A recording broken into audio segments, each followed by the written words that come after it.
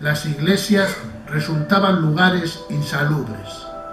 En el interior de la iglesia de Ampuero existieron desde el siglo XVI dos capillas, una que perteneció a la influyente familia Espina y otra fundada por Diego Martínez Hierro, y en ambas se enterraba a los miembros de cada linaje. El testimonio más antiguo que se conserva es una lápida funeraria de piedra con el escudo esculpido de la familia Espina. Tiene en los márgenes la inscripción Aquí yace el reverendo señor Sancho de Espina, cura beneficiado de esta iglesia, fundador y dotador de esta capilla, año de 1568. Los orígenes del cementerio de Ampuero no los conocemos con exactitud.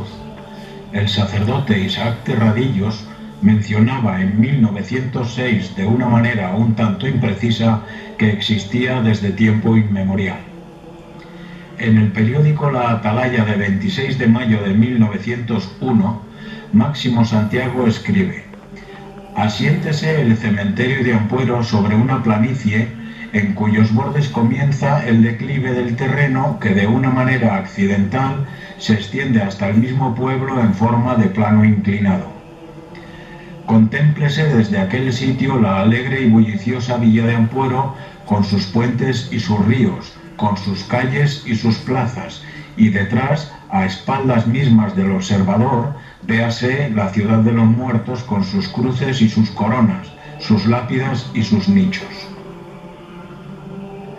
Abajo la agitación y la vida, arriba el silencio del sepulcro, el reinado de la muerte dentro de aquellas parduscas paredes que parecen estar diciendo a los vivos, agitaos en medio de vuestros halagadores proyectos, deleitaos con